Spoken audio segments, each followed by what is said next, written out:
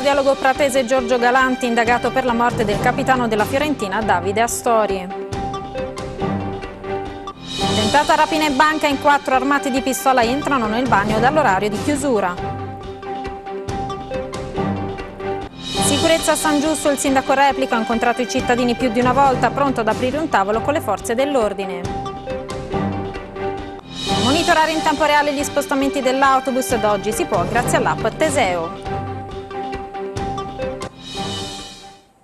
Una buona giornata dalla nostra redazione, ben trovati a un nuovo appuntamento con l'informazione di TV Prato. Anomalie nel tracciato dell'elettrocardiogramma, aritmie ventricolari che potevano essere delle avvisaglie dei segnali della patologia che poi sarebbe costata la vita al capitano della Fiorentina Davide Astori. A nove mesi dal decesso del calciatore la Procura di Firenze ha iscritto nel registro degli indagati due medici. Uno è pratese, il professor Giorgio Galanti, ordinario di medicina interna all'ospedale di Careggi Parigi e fino a pochi giorni fa direttore del Dipartimento di Medicina Sportiva. L'altro medico è di Cagliari, dove Davide Astori aveva giocato prima di arrivare a Firenze. Per entrambi i medici l'accusa sarebbe di omicidio colposo. I due medici, entrambi esterni alle società sportive, incaricati di certificare l'idoneità degli atleti, non avrebbero eseguito in due occasioni quelle indagini aggiuntive che le prove da sforzo avrebbero richiesto.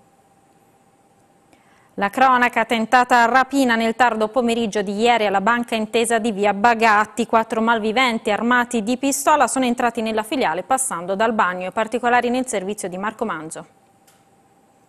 Sono entrati in quattro col volto coperto, uno dei quali armato di pistola e dopo aver minacciato i dipendenti e i clienti presenti hanno tentato di rapinare la banca senza riuscirci. È quello che è successo verso le 16 alla filiale della banca intesa di Via Bagatti a Chiesa Nuova. I malviventi sono entrati nella banca passando dal bagno dopo aver segato le sbarre e forzato una finestra. Una volta nell'istituto di credito hanno minacciato i presenti facendoli sdraiare a terra sotto la minaccia dell'arma, puntando al bancomat. Il sistema di apertura temporizzato però deve aver rovinato i piani dei ladri che forse per timore di essere sorpresi sul fatto dall'arrivo delle forze dell'ordine sono fuggiti senza riuscire a racimolare nulla, scosso e sotto shock il personale della banca. Sul posto sono giunti i carabinieri che hanno ritrovato una piccola scala e una ventosa per vetro usate dai banditi per accedere nella banca. È probabile che i malviventi avessero effettuato un sopralluogo nella notte per segare le sbarre della finestra e poter così agire più velocemente al momento dell'irruzione. I militari hanno visionato le immagini girate dal sistema di sicurezza e si sono messi sulle tracce dei quattro.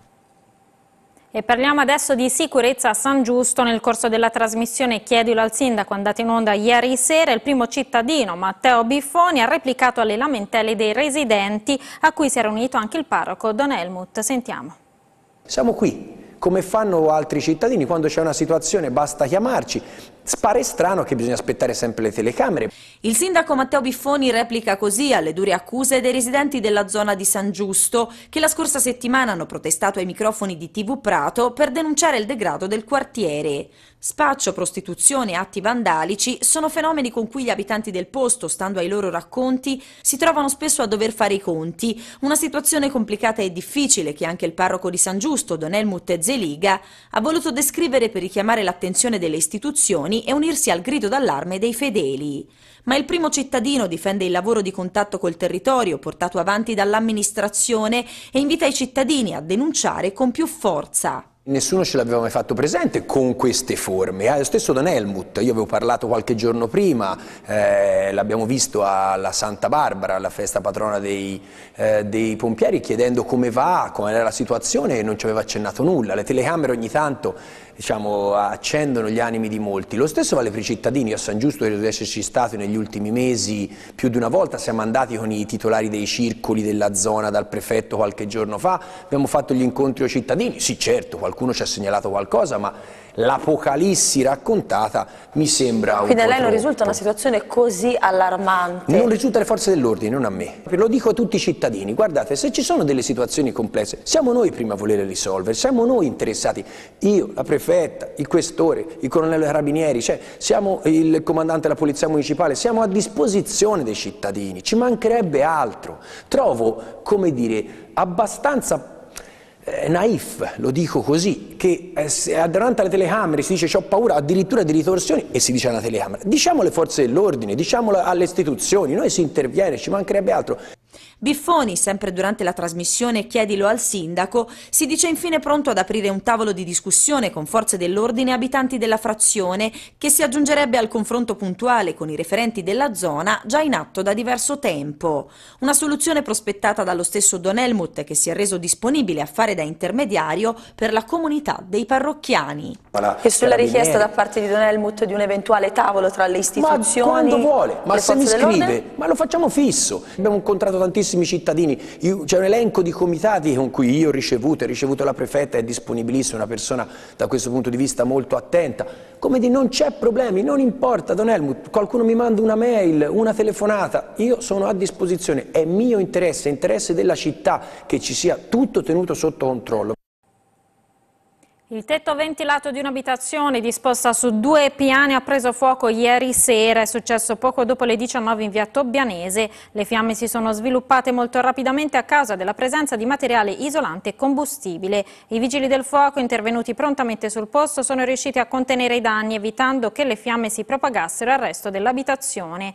Tanta paura ma per fortuna nessuna conseguenza per le persone che erano presenti nell'edificio. Le cause dell'incendio che ha interessato una superficie di circa 15 metri metri quadrati della copertura dell'immobile sono in via di accertamento. I vigili del fuoco non escludono che l'incendio sia da attribuirsi al surriscaldamento della canna fumaria. Se lo chiedono spesso i passeggeri alla fermata tra quanti minuti arriva l'autobus, con l'applicazione Teseo da oggi è possibile saperlo in tempo reale consultando il proprio cellulare. Guardate.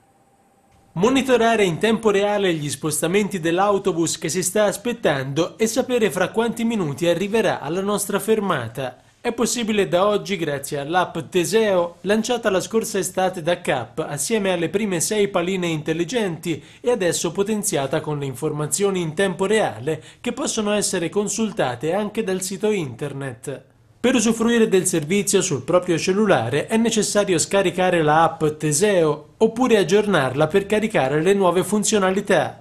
Tutta la flotta di CAP, urbana ed extraurbana, ma anche gli autobus in marcia nei territori serviti dalle altre società del gruppo CTT Nord, Pistoia, Empoli, Pisa, Lucca e Livorno, sono adesso collegati e aggiornano costantemente la loro posizione, permettendo una lettura istantanea degli spostamenti sulla rete. Abbiamo imparato con la LAM ad andare alla fermata senza guardare l'orario perché la frequenza è alta e quindi l'autobus dopo qualche minuto transita, sui servizi extraurbano che ovviamente è un servizio che ha una frequenza molto più alta e che quindi ha transiti medi ogni 30 minuti, questo è un sistema che dà la possibilità di vedere fra quanti minuti passa l'autobus, lo posso vedere dall'applicazione sul telefono, lo posso vedere sul web K potenzierà anche le paline intelligenti. Alle sei postazioni presenti nel comune di Prato a breve si aggiungeranno le due fermate all'ospedale della LAM arancione e della LAM blu.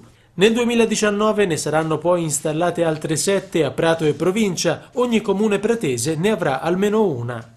È chiaro che l'investimento è stato eh, importante sia in risorse eh, e risorse umane, quindi uh, c'è stato un impegno di tutto il personale che ha gestito questa fase di conoscenza, di messa a punto e oggi siamo molto soddisfatti. Il sistema si rivelerà utile anche per verificare il rispetto del contratto di servizio con gli enti locali, che attualmente, ad esempio, fissa al 95% il tetto minimo di corse effettive rispetto a quelle previste più dati abbiamo e più è facile per noi capire dove ci sono criticità, dove possiamo intervenire, dove si può migliorare, efficientare, perché ormai si sa eh, le risorse è difficile aumentarle, è molto più, eh, ha molto più senso, è molto più facile a questo punto eh, cercare di ottimizzare il servizio.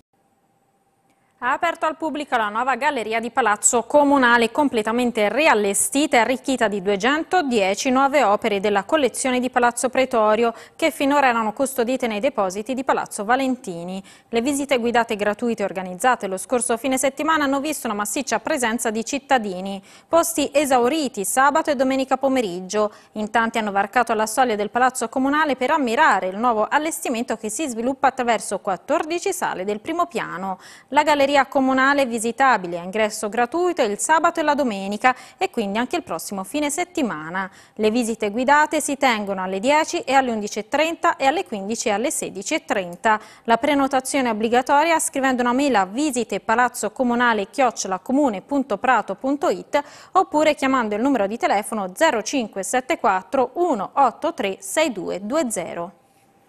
Tour editoriale alla scoperta dei capolavori della Chiesa dello Spirito Santo. È stata presentata infatti la nuova guida cartacea dalla storica dell'arte Virginia Barni. Il volume sarà illustrato alla città venerdì prossimo. 96 pagine ricche di storia, arte, bellezza e fede che accendono le luci su una chiesa rimasta un po' nell'ombra, quella dello Spirito Santo. Si intitola Umbratilis Ecclesia, la nuova guida della storica dell'arte Virginia Barni, pubblicata da Claudio Martini Editore, che racconta con dovizia di particolari il patrimonio culturale custodito nella parrocchia di Via Silvestri, un gioiello incastonato tra gli antichi palazzi del centro, ma sconosciuto ai più, che all'interno della guida viene descritto nei suoi numerosi trascorsi e nei tanti cambiamenti subiti in oltre 700 anni di vita occorreva uno strumento che avesse le due caratteristiche e della ehm, chiarezza scientifica, della precisione scientifica nello studio delle fonti, della storia della Chiesa e nello stesso tempo fosse in qualche modo uno strumento utilizzabile dalle persone che eh, vengono a visitare questa chiesa, sia ai parrocchiani, alle persone della zona ovviamente. Il testo prevede una prima parte introduttiva in cui si narra la storia della chiesa fino ai giorni nostri, seguita poi da una seconda parte più dettagliata con le schede illustrative delle opere, gioielli di straordinaria bellezza firmati da Filippo Lippi, Jacopo Dicione, Benedetto da Maiano, Paolo degli Organi, Niccolò Latini e Santi di Tito una chiesa che nasce come chiesa conventuale dell'Ordine dei Servi di Maria e che alla fine del Settecento invece viene riconosciuta come parrocchia dello Spirito Santo, come la conosciamo ancora oggi. Il volume arriva dopo un massiccio intervento di recupero e restauro portato avanti negli anni scorsi dalla ditta Fedeli di Firenze, che ha permesso di scoprire e riportare alla luce gli affreschi di Matteo Bertini del 1822 nascosti da uno strato di intonaco bianco. Ad oggi sono state ripristinate le decorazioni sulle due pareti della navata e sull'arco trionfale. Il prossimo step prevede di rendere visibili quelli dell'abside e di procedere poi al restauro dell'intero complesso di affreschi. La chiesa sarà aperta e visitabile sabato 15 e domenica 16 dicembre. E passiamo adesso al calcio dilettanti. In eccellenza rallenta lo Zenit Audax, mentre in promozione il Viaccia batte il Luco e si porta al quarto posto in classifica. Ce ne parla Massimiliano Masi. Il Grassina si aggrappa al primato in classifica e passeggia sul campo delle Badesse, dove si impone per 3-0. Una partita dominata dalla squadra del presidente Zepponi che vince e convince. A 5 lunghezze dal vertice resiste il Poggibonsi che in rimonta doma la Rignanese per 3-1. I senesi, insomma, non mollano la presa. Ormai è lotta a 2 per la vittoria del campionato. In zona playoff pareggio per la Zenit Audax che impatta 1-1 sul campo dell'Antella. Un pareggio al termine di una partita bruttina, senza troppi acuti. Pareggio anche per la Baldaccio Bruni che riesce a impattare 2-2 con il Porta Romana. In rialzo anche le quotazioni della Valdarno che riesce a superare di misura il Signa. In promozione la Lampo vince lo scontro al vertice con la Pontremolese e accorcia il gap in classifica. Decide una zuccata di imperatore. Alle spalle dei battistrada rallenta il Malise di Tobbianese che viene fermato in casa sul risultato di 1-1 dal Montespertoli al termine una partita piena di emozioni. In rialzo le quotazioni del Viaccia che centra la seconda vittoria consecutiva superando il Luco per 3-1 e confermandosi in piena zona playoff. Rallenta la Larcianese superata di misura dalla Sestese. Decide nel finale una rete di Torrente in ripresa il Calenzano che passa sul campo del Villa Basilica e si tira fuori dalla zona play-out. Buon pareggio anche per il Jolly Montemurlo che esce indenne dal terreno della Real Cerretese. In prima categoria il Prato 2000 è la nuova capolista, approfittando degli scivoloni di Mezzana e CF 2001. La squadra di Andrea Diodato mette la freccia e comincia la fuga. E passiamo adesso alle previsioni del tempo, come sempre a cura del Consorzio Lamma. Buongiorno e ben trovati con le previsioni meteo a cura del Consorzio Lamma. Come possiamo apprezzare dal satellite, condizioni di alta pressione e tempo stabile, splende il sole su gran parte della nostra penisola, anche sulla nostra regione, infatti continuerà a farlo per gran parte di oggi, anche se farà freddo con temperature massime in lieve calo non oltre gli 8-12 gradi centigradi. Domani mercoledì sarà una giornata all'insegna della variabilità, poco parzialmente nuvoloso mattinata con rapido aumento delle nubi dalla costa verso l'interno, farà ancora molto freddo al mattino, temperature in ulteriore calo, saranno diffuse le gelate su gran parte del territorio regionale, localmente anche in prossimità della fascia costiera. Nel corso del pomeriggio e soprattutto in serata aumenteranno le nubi su gran parte della regione, dalla sera Precipitazioni sparse e anche nevose oltre 500-700 metri di quota, soprattutto in Appennino ma anche attorno al Montamiata sulle colline senesi. Eh, temperature massime in ulteriore diminuzione, farà freddo non oltre 5-10 gradi centigradi. È tutto, a voi la linea. E questa era l'ultima notizia, il telegiornale termina qui, il prossimo appuntamento con le informazioni di TV Prato per questa sera alle 20.30. Grazie per averci seguito e arrivederci.